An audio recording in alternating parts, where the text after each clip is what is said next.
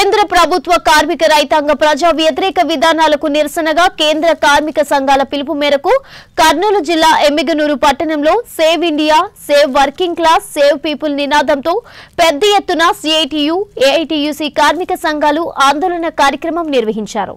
ఈ సందర్భంగా వారు మాట్లాడుతూ లాక్డౌన్ కార్మికులకు పూర్తి వేతనం చెల్లించాలని వలస కార్మికుల చట్టాన్ని కఠినంగా అమలు చేయాలని కార్మిక కుటుంబాలకు నెలకు పదివేలు పది కిలోల రేషన్ ఆరు నెలల పాటు ఇవ్వాలని కరోనా సేవలో ఉన్న స్కీమ్ వర్కర్లు అన్ని శాఖల ఉద్యోగులకు పారిశుద్ధ్య కార్మికులకు బీమా సౌకర్యం కల్పించాలని ఒక నెల వేతనం ప్రోత్సాహం అందించాలని డిమాండ్ చేశారు.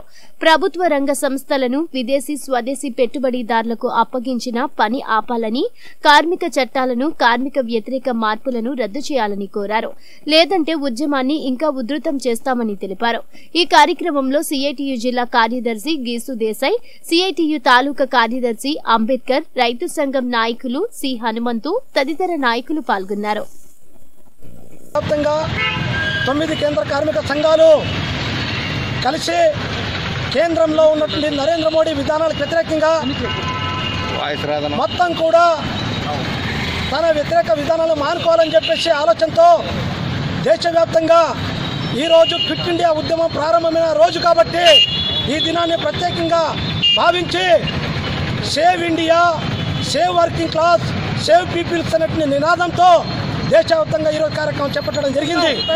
దాదాపు పదమూడు కోట్ల మంది కార్మికులకు ఆ రకం ఉపాధి కల్పించేటువంటి రంగం అట్లాంటి రంగాన్ని ఈరోజు నిర్వీర్యం చేసి రిలయన్స్ అదాని వాళ్ళకు అప్పచెప్పే ప్రయత్నం చేస్తూ ఉన్నారు. ఆ రకంగా పబ్లిక్ ట్రాన్స్పోర్ట్ తిరిగే ప్రయత్నం చేస్తూ ఉన్నాడు.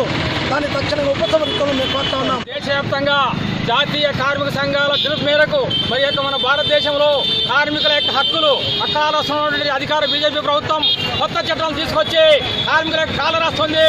ఈరోజు కరోనా టైంలో కార్మికులను ఆదుకోలేక ప్రత్యేక ఆర్థిక కేటాయించలేక ఈ రోజు కార్మికుల రోడ్డును పడవిస్తూ ఉంది. ఈ నేపథ్యంలో జాతీయ కార్మిక సంఘాలు ఈ రోజు ఏకమై ఈ యొక్క జాతీయ ఈ రోజు అధికారం బీజేపీ ప్రభుత్వం మీద ఒత్తిడి తీసుకొచ్చి రాబోయే కాలంలో ఈ కార్మికుల పక్షాన పెద్ద ఎత్తు ఉద్యమాలు చేపడతామని తెలియజేస్తా ప్ర- కేంద్ర ప్రభుత్వ రంగ సంస్థల్ని ప్రైవేటీకరణ తక్షణం ఆపాలని లేకపోతే పెద్ద ఎత్తున ప్రజల చైతన్యం చేసి పెద్ద ఉద్యమం నిలబెట్టి మీ యొక్క ప్రభుత్వానికి కోరి కడతామని హెచ్చరి ఇవాళ దేశవ్యాప్తంగా తొమ్మిది కార్మిక సంఘాలు అదే రకంగా రైతాంగ సమస్యలపైన